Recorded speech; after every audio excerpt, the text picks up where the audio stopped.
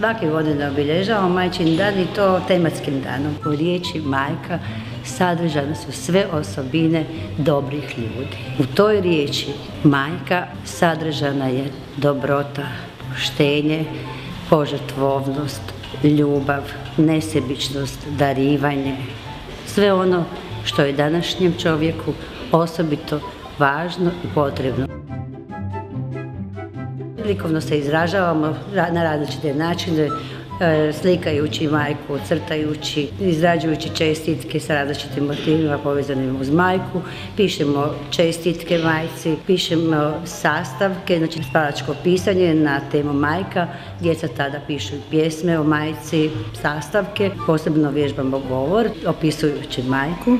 U glazbenom izričaju djeca plešu, slušamo pjesme o majci, pjevamo pjesme o majci u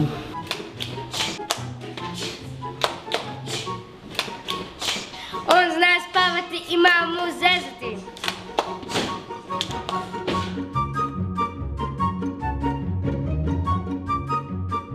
Ja bih svoju mamu opisao mm, da je nježna, dobra, mora puno toga raditi, mora paziti na brata, mora čistiti, mora kuhati.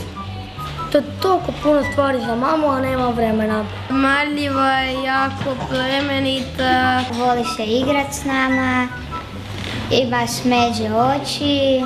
Moja mama je lijepa, ima lijepe oči, mali nos, vitka je, ima crnu kosu, voli se igrati sa mnom, zajedno idemo u shopping.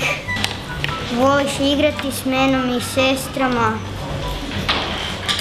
ali ona ima toliko obaveza da ne mogu nabrojati. Majčin dan je jako važan e, zato što svi volimo svoje majke. Moramo valjda malo e, više poštivati mamama na taj dan. Da trebamo pomagati mamama, slušati ih, da se one odmore malo. Za majčin dan smo radili crteže, pisali po ploči majčine osobine, opis li, opis mame, pjevali smo, razgovarali smo, malo smo se igrali uz razgovaranje. Čemu služi mama? Prvo da napiše zamolbu rodi pa da se klinac tati mami na radost rodi.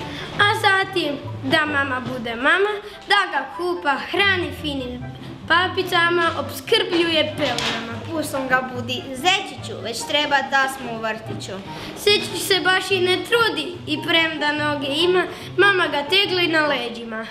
Još mi topli šali splete, skuhamo špagete, pa zato i mama ima dijete. Mama eto služi za sve i svašta, a najviše da nestašku svome stalno nešto oprašta.